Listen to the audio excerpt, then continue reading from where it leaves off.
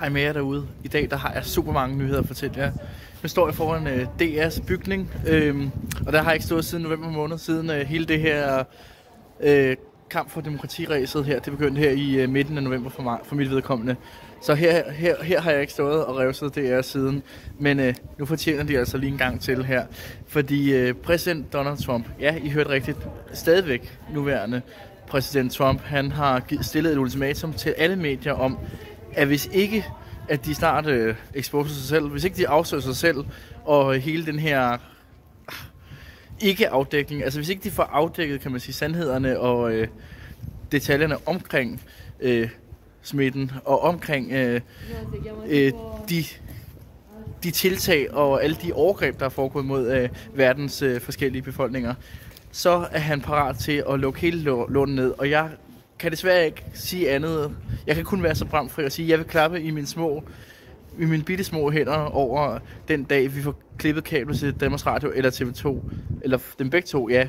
Øh, hvis ikke, at, øh, at de evner at expose sig selv, fordi de har virkelig spillet en kæmpe rolle, og de har, og de har virkelig svigtet massivt. Og det har jeg sagt til jer før i forhold til deres propaganda, i forhold til deres øh, bortforklaringer og deres fortigelser akkurat som fru Frederiksen, vores statsminister, så har medierne virkelig dækket over hende. Jeg ved godt, hun fik på puklen over minkskandalen, men lige siden har vi jo behandlet hende som Stalin eller kejser inden nærmest. Altså, det er jo helt vildt. Altså, uanset hvor mange lovovergreb, som øh, Mette Frederiksen har begået, så har medierne bare nærmest øh, skamrosen hende og glorificeret hende. Og det skal der laves om på. Det vil jeg gerne være en af garanterne for. Det vil jeg godt love jer.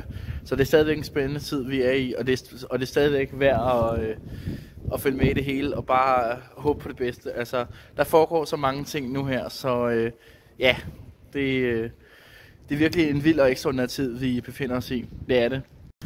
Tænk alle sammen, lige om lidt, så er det altså tid til, at øh, Danmarks Radio, TV2 og de øvrige, de store øh, mediehuse og der på deres hjemmesider, men også i deres fysiske trykte aviser, at de får exposet sig selv.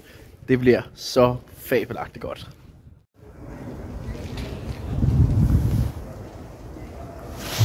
Der sker så mange utrolige ting øh, for tiden. Og hvis jeg undrer lidt over, hvad det er, jeg har i min, min venstre hånd her, så er det altså fordi, at jeg er på arbejde lige sådan en, øh, et stykke bongmål frem, og så lige skrev på stikord, fordi jeg synes simpelthen, der var nogle ting, jeg i min pause var nødt til at få skrevet ned på så papir. Så det har jeg altså gjort. Der foregår så ufattelig mange ting for tiden her, og min kalender har simpelthen været booket op. Altså, jeg har simpelthen været så meget beskæftiget her. Øhm, ja, altså med ting og sager. Og det har kun været fantastisk. Det er godt at komme i gang igen og få den her kampgejst og energi tilbage. Og så, øh, ja, siden jeg har mødt alle, siden jeg har truffet alle de her fantastiske mennesker her, som jeg er iblandt. Og nu kommer jeg også til det, fordi jeg vil gerne afsløre for jer, at jeg skal øh, hjem privat til øh, en, øh, en JFK'er igen i aften. Øh, ja, igen, fordi jeg var også her i går, var jeg også på privatbesøg hos en, øh, et JFK-medlem for den her frihedsorganisation, øh, den her frihedsbevægelse. Og, øh, og i dag der er jeg hjemme hos en anden en, øh, sammen med, med en hel, hel del fra, øh, fra organisationen, sammen med formanden. Så det bliver virkelig, virkelig spændende. I skal følge med i, hvad der sker med øh, Nana Fri. Øh, dommerstanden, tror jeg det er, de har... Øh, og jeg er så ærgerlig over det. Dommerstanden har jo selvfølgelig forlænget Nana Fris, øh, kan man sige, øh, varetægtsfængsling. Altså, hun er jo ikke dømt, vel, men altså, det, at hun er tilbageholdt, det, de holder stadigvæk øh, Nana Fri tilbage, og det, øh, og det gør de altså hele måneden ud. Så det vil altså sige, at hun skal sidde og kugelure ind bag trammer, øh, til og med, hvad det første eller anden marts. Det er fuldstændig afsindigt. Altså, jeg vil ikke kunne holde til det, og jeg, jeg tror sådan, at jeg vil faktisk, jeg vil faktisk godt røve over for jer. Jeg tror heller ikke, at Nana Fri holder til det her. Jeg tror virkelig, at Nana har det rigtig, rigtig svært. Og så må man jo altså også bare sige, at øh, Ja, altså jeg kunne sige, at det her det, det, det falder så meget tilbage på systemet selv, og på, på de mennesker, som virkelig plæderer og, og, og står for det her, de her overgreb på befolkningen. Altså, øh, det vil jeg bare sige. Og så står vi her med P3. Nu er jeg lige kommet ned på for enden her. Vi er stadig her, befinder os ved det smukke Amager. Men øh, ja, øh, hvad hedder det? Jeg vil bare sige, at øh, dernede har vi P3, altså, og de er altså også nogle af dem, der er eminent gode til at skabe... Øh, satirehistorier og det stedet løgne om, om borgerne, hvor de kan fordreje hele sandheden, hvor det ikke bare er, hvor det ikke bare er normal satire, men hvor det simpelthen er decideret hån og ondskab. Det vil jeg altså også lige, øh, i hvert fald bare gå lige her med her, fordi, øh, fordi det er altså det der tilfælde der. Det er altså ikke kun mig, der, der siger det. Øh, Nå, så vil jeg også gerne lige sige, at øh, vi stadig har en meget, meget spændende tid foran os, altså også astrologisk. Øh, hvorfor var det ellers, jeg skrev på min plakat forleden dag, at øh, it is the dawn of the age of the Aquarius. Altså, det er simpelthen øh, daggryet for vandmandens tidsalder. Det er begyndelsen på vandmandens tidsalder. Og ja, det er sådan lidt eller en hippiebevægelse igen, men det her, det er meget, meget, meget større end, end det sidste gang, altså, hvor nogen valgte at, at tænke og at gøre på, på en anderledes måde. Så øh, hvis I har lyst, så skal I gå ind og følge Simon Parks. Han er brite. I skal følge Catherine Austin, hedder hun. Jeg kan ikke huske sin mellemnavn. Catherine Austin fra USA. Og I skal følge kanadiske Michelle Titler, som jeg har et øh, meget, meget varmt øh, øje for. Fordi jeg synes virkelig, hun gør det godt. Altså den måde, hun øh, fortæller om alle de her space, spacey og spirituelle ting på. Og hvor hun netop har fortalt mig om alt det her med vores fordraget kristendom. Altså... Øh, alt det der forkert med kristendom, som vi ellers har fortalt af The Matrix og The Cabal. Altså, øh, så det er faktisk dem, der kalder os for konspirationsteoretikere. Det er faktisk dem, der er de reelle konspirationsteoretikere, fordi de lever jo, altså de lever med sådan en forestilling om at være, altså at de mener, at Matrix, den her forestillingsverden, det er den rigtige, det er den rigtige verden. Det er faktisk det her, hvor vi er kommet til 5, 5D states, altså det her 5D state nu her. Så det er altså ret fantastisk. Og det er der altså allerede nogen siden 70'erne, der har, øhm, kan man sige, der har haft det her sy, øh, syn her, altså det her udsyn her, på grund af vandmandens tidsalder. Det, det synes jeg, det, det er lidt cool. Nå, men øh, udover det, så håber jeg selvfølgelig, der kommer en anden demonstration eller en anden ordning eller noget, hvor vi kan gøre mere for, øh, for Nana, fordi øh, jeg ved, at, øh, at der er nogle flinke mennesker, der har sendt øh, videoen, som jeg har lavet sidste gang her, øh, til den der frihedsdemonstration sidste onsdag, hvor, øh, hvad kan man sige, hvor... Øh, der er nogen, der har sendt øh, hvad kan man sige, videoen til Anna Fris mor, og det har jeg intet imod, fordi jeg synes kun, det er godt, øh, at folk de får den her opbakning her, og de ved, at vi er altså også nogle andre her, som øh, kærer os om, om sagen, og vi synes, det er helt afsindigt, det der er sket med, øh, med Nana, altså den her sag.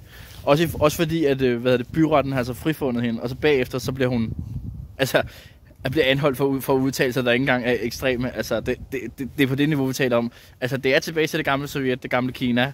Altså, Kambodja for den sags skyld, med killing fields. Altså, det, det, det, vi, det er det, vi taler om. Altså, altså for folk bare med ytringer, helt almindelige ytringer, eller folk, der har skrevet en avis, for eksempel, som kan blive, øh, kan blive nakket på grund af det, ikke? Det er helt vildt, og så sker det her i vores, vores lille Danmark. Nå.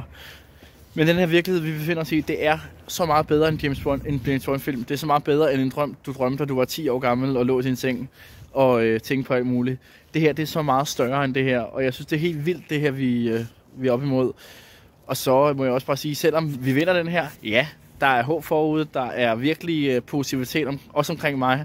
Nogle gange har man lyst til at sige en masse grimme ord, selvom vi også går med styrke og kærlighed. Men altså, det er jo selvfølgelig... Øh, vi skal selvfølgelig have kommet ned på et lavt niveau, så vi skal nok holde lidt igen med nogle af de der ah, skældsord over for dem, der virkelig ikke har fortjent det. Altså, dem, der virkelig har behandlet os så dårligt. Nå, men jeg vil i hvert fald sige, at virkeligheden den er bedre end på film. Det kan jeg kun sige. Virkeligheden er så meget bedre, også når jeg optager her. Er I klar over, hvor mange videoer her, selvom jeg optager her med amatørkamera og holder her i håndholdt kamera i min højre hånd? Er I klar over, hvor mange fantastiske videoer, hvor, hvor meget evidens, hvor, hvor meget, hvor, kan jeg sige, hvor meget dokumentation jeg har på, øhm, jamen på så mange ting. Altså, Nå, vi har også tage rundt videoen af her, fordi min hånd er ved at falde af igen her. Det er hårdt her at gå rundt her med udstrakt arm. Nå. Og så har jeg også et spørgsmål til jer. Nu fandt vi ud af alle de der afsløringer omkring øh, Hillary Clinton, ikke? Men øh, det er fordi, hun siger sig at være en af de værste. Jeg kan lige så godt sige det til jer. Altså, der er nogle ting her, som jeg ikke vil fortælle her på åben kamera, som øh, hun i hvert fald er blevet beskyldt for. Og der er altså billeder, der, der i hvert fald indikerer det. Altså, så ved jeg ikke, Nej, øh, selvfølgelig skal tvivlen lade kvinden eller manden komme til gode, men altså, jeg synes stadigvæk, at det er værd i hvert fald også at få det, øh, det undersøgt. Fordi man siger, Hillary Clinton siger så var en af de værste. Altså, hun har stabschefer, som har gjort uhyrlige ting. Hun har selv foretaget uhyrlige ting.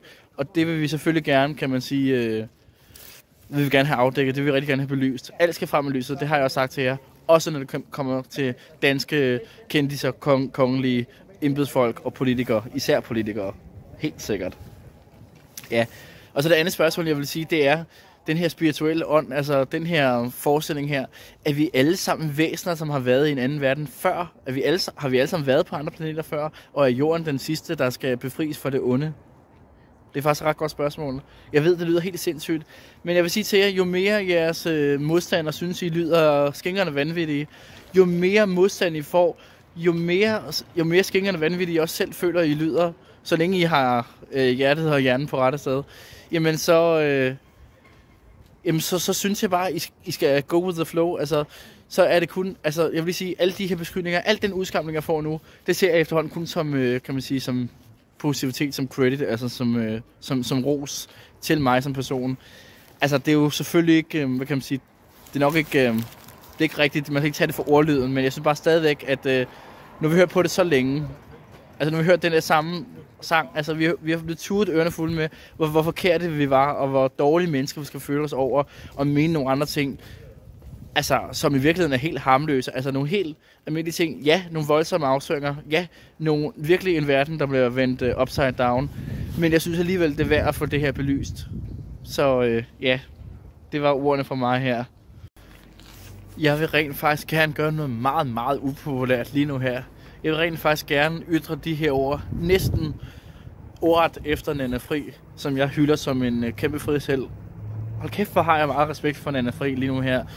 Og jeg kan ikke forestille mig, hvilken horribel situation hun øh, sidder i, og, og, må, og må aftjene inden bag trammer. Altså, det er så uværdigt, det, og det er politikerne. Det er så meget, især Løgnike, Hækkerup og, øh, hvad hedder hun, øh, Mette Frederiksen og Trine Bramsen, øh, også forsvarsministeren, ikke? Det er, som, det er så meget dem, der burde sidde og rådne op i det spjæld. Det er ikke Nana Fri. Det kan jeg godt sige. Men jeg vil gerne gengive Nana Fris ord dog på en lidt anden måde. Men øh, jeg vil gerne sige, at vi, vi skal ændre det her system på en fredelig måde.